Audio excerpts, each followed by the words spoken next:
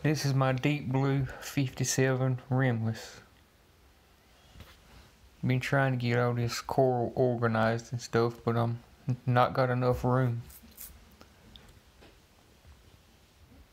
I do want to add more fish though. Definitely want to add more fish. I just got stuff everywhere. It's starting to get on my nerves being so unorganized inside my tank. I still want more coral.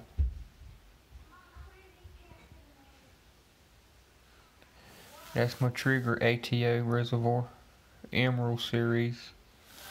That's a 36 inch hybrid with a Radion XR30 and XR15.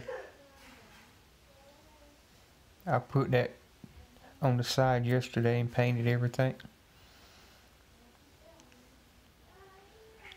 This here is a Trigger 34 sump Emerald series. I'm made to get a better video of my sump, more light.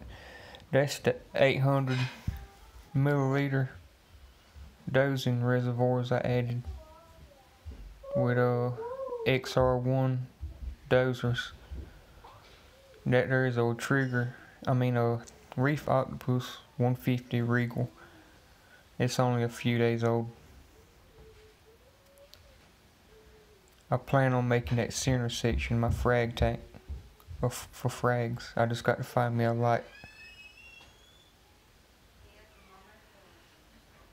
I do need to finish up my canopy too because I like that floating canopy look.